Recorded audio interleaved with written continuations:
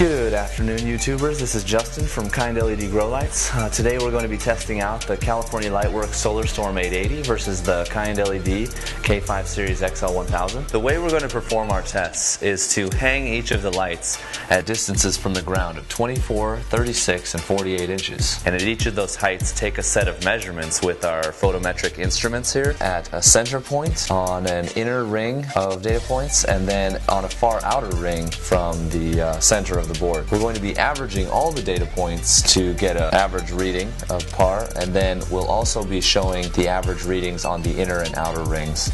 Alright, let's take a look at the instruments we're going to be using to perform this test. This is a par meter, another tool from Sun Systems.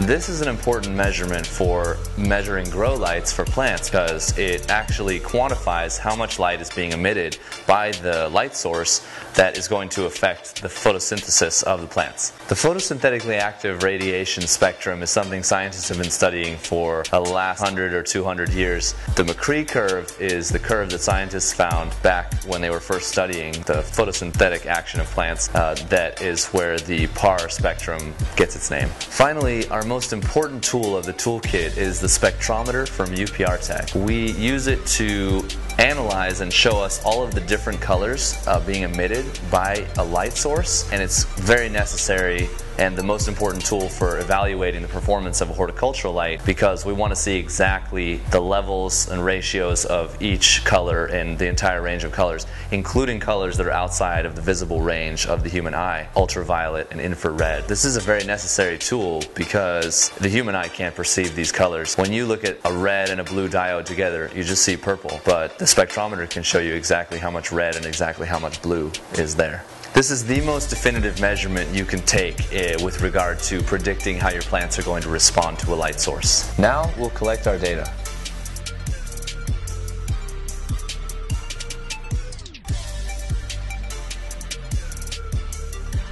These are the conclusions drawn from our data set. Here taking a look at the PAR data, uh, we can see that the Kind LED clearly outperforms the Cali Lightworks. It diminishes very quickly as you go away from the uh, distance to the board. It's not quite as strong, doesn't quite reach, reach the edges as well as the K5 series. Comparing these two spectrums next to each other, we can see that the uh, Kind K5 series light has that perfect 12 band spectrum that we're known for.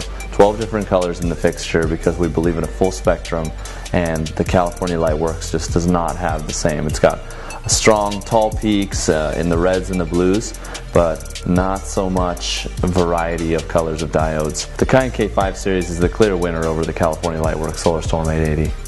Represented by the lines overlaid onto the spectrum is the absorption percentages for the colors of light needed to produce chlorophyll A, B, and carotenoids within the plant. Ultraviolet and infrared are not represented on this overlay, but botanists know that those colors of light are essential for full plant growth and essential oil production.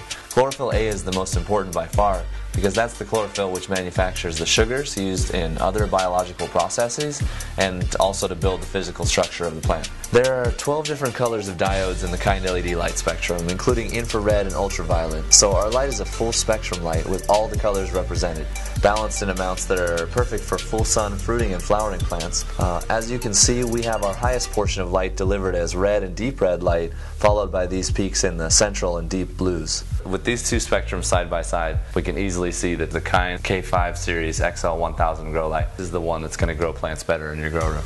We're also going to be testing high pressure sodium light. This is a 1000 watt HPS light in a cool tube with the same photometric analysis, uh, PAR readings, and spectral analysis. This is traditionally what you'll see in grow rooms, and although it puts out a lot of light, it's not necessarily the colors that you want to see, and it also puts out a lot of heat.